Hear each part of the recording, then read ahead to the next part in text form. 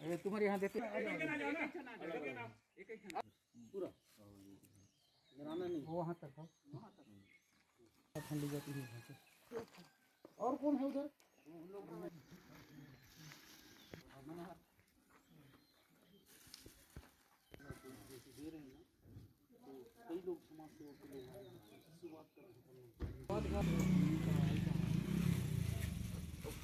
उधर घर के ला हाँ नीरज घर के हाँ हाँ उठाई के ले जाओ हैं? और और अगर कोई प्रॉब्लम हुई बता दो छोटू। अभी तक ठीक है। मास्क लगाओ हाँ?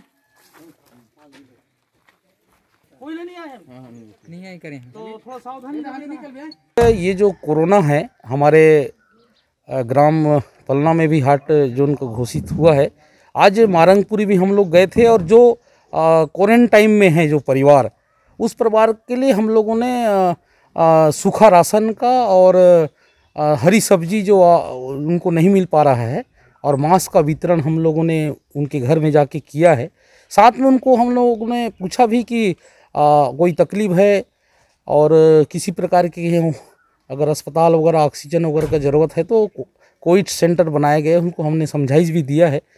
निश्चित तौर पे ये एरिया जो है हमारा सलना पलना इधर हमारा मारंगपुरी है ये हॉट स्पॉट जोन घोषित किया गया है हम लोग ने लगातार मिलकर सभी ग्रामवासियों से समझाइश दे रहे हैं कि आ, वैक्सीन भी लगाएँ और साथ में आ, कोरोना जो गाइडलाइन है उसका पालन करें मास्क लगाएँ सुरक्षित रहें घर में रहें।